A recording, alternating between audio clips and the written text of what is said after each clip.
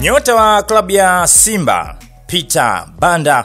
amechaguliwa kuwa mchezaji bora katika mechi ambayo imewakutanisha timu yake ya Malawi pamoja na timu ya Mauritius katika michuano ya Kosafa, yani nchi za ukanda wa kusini mwa Afrika. Sasa matokeo katika mchezo huo, Malawi wameibuka na ushindi wa magoli mawili kwa sifuri ambayo waliwafunga hao Mauritius, goli la kwanza likifungwa na Sanudi katika dakika ya 52 na jingine likifungwa dakika 88 na mchezaji ambaye anafahamika kama Mhone. Nyota huyu wa Simba raia wa Malawi Peter Banda, baada ya mchezo kuwa umemalizika, akawa ametangazwa kuwa yeye ndiye ambaye ni mchezaji bora katika mechi hiyo ambayo ilikuwa ni nzuri zaidi kwa upande wake. Peter Banda ni mmoja kati ya wachezaji ambao wamesajiliwa hivi karibuni na klabu ya Simba, lakini pia akiwa ni miongoni mwa wachezaji wenye umri mdogo na ambao wanatajwa kuwa huenda pengine ikawa ni faida kubwa kwa klabu ya Simba kutokana na umri wake, lakini pia hata kipaji chake na kiwango ambacho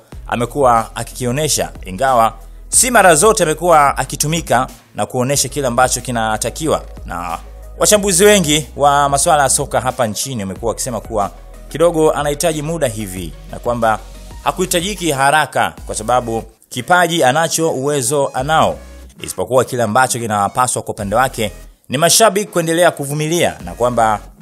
ataendelea kuonesha kiwango chake kikiendelea kukua siku hadi siku, na mwisho wa siku atakuja kuwafurahisha wanasimba. Sasa kwa upande wa Simba, hii inakuwa ni habari njema kwa upande wao, hasa kwa mchezaji wao huyu ambaye akiwa na timu yake ya taifa anaibuka kuwa mchezaji bora, na pengine sasa kutokana na sajili ambazo zimeendelea kutangazwa na klabu ya Simba, huenda pengine akija kurudi na akaungana na klabu yake hii pamoja na wachezaji hawa wapya, basi mambo yatakuwa ni mazuri zaidi, na pengine mashabiki sasa huenda pengine wakafanikiwa kurejesha furaha yao, kwa maana ya kurejesha makombe ambayo yamechukuliwa na wapinzani wao